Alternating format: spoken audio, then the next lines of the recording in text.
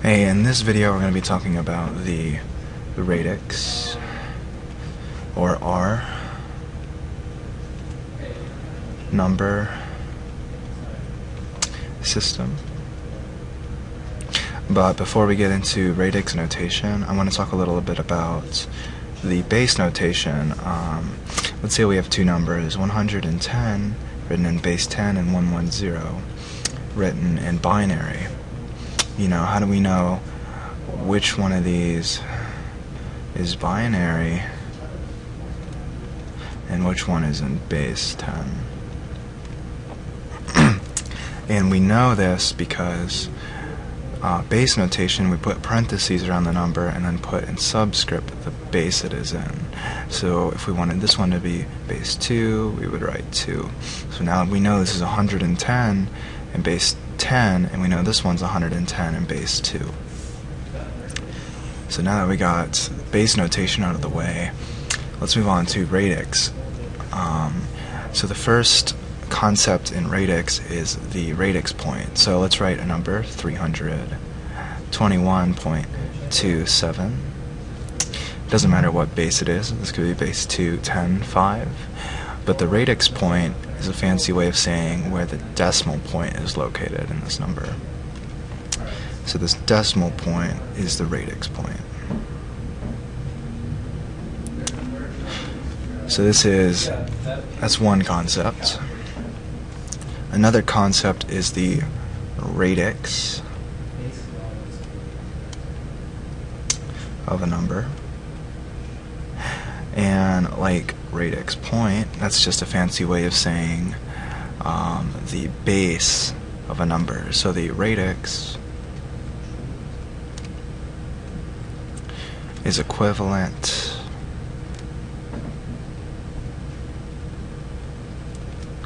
to base.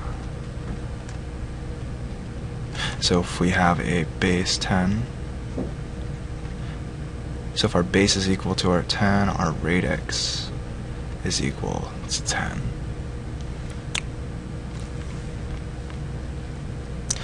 Now that we have radix point, radix, there's one more concept related, which is the radix form of a number.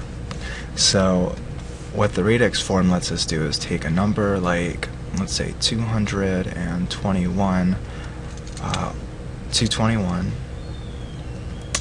and say base 3, and we can figure out what that number is equal to in base 10. Now to do this, we simply take the number and we spread it out a little. We find the radix point, which in this case is right here. Um, this is where the decimal place is. We could put 0, 0, but it doesn't really matter. And when we count this, we start here with 0 to the left of the radix point. So these are going to be our places.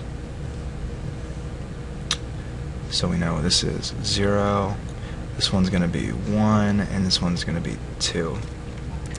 And as we count to the right, we're going to go down, and as we count to the left, we're going to go up. So we go right 1, and we end up with negative 1, negative 2.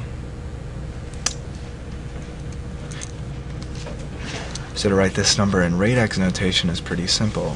We simply start with the number here, bring it down, we end up with 2, and then we multiply this times our base of 3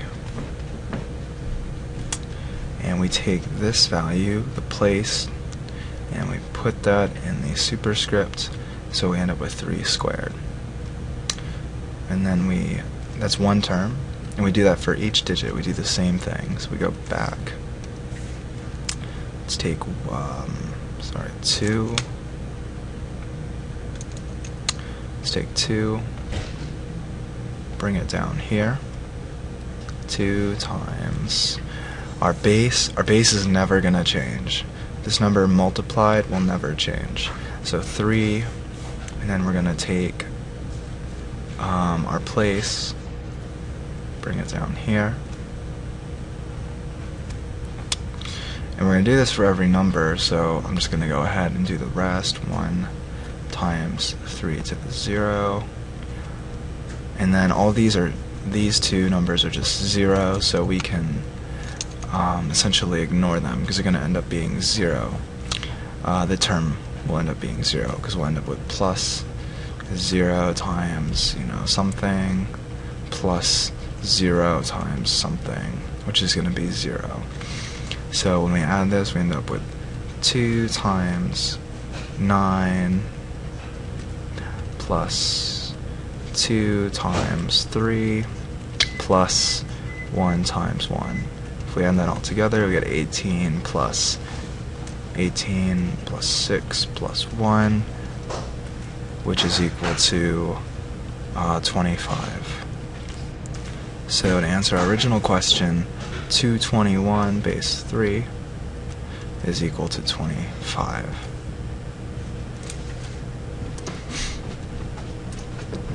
So let's move on to a slightly more complicated example.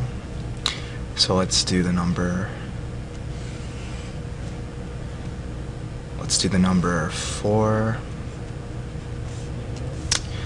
21, and we'll add a decimal place to this one. We'll say point uh, 4. And this will be in base 5. So 421.4 in base 5 is equal to what? In base 10. So let's break the number up. 4, 2, 1, 4. Put the radix point in.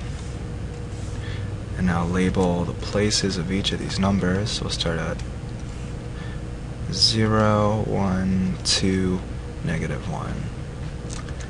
So then we're going to start on the left side. We'll take this number, bring it down 4 times our base, which in this case is 5, to this number here. Bring that out. And we'll keep doing that for each digit. So this one's 2 times our base 5 times our place 1 plus 1 times our base 5 plus our place 0 plus 4 times our base 5 times our place 1. So what we end up with is 4 times 25 plus 2 times 5 plus 1 times 1 plus 4 times, and then 5 to the negative first is equal to 1 over 5. You can simply take out the negative sign and put whatever is, um, you know, here into the bottom.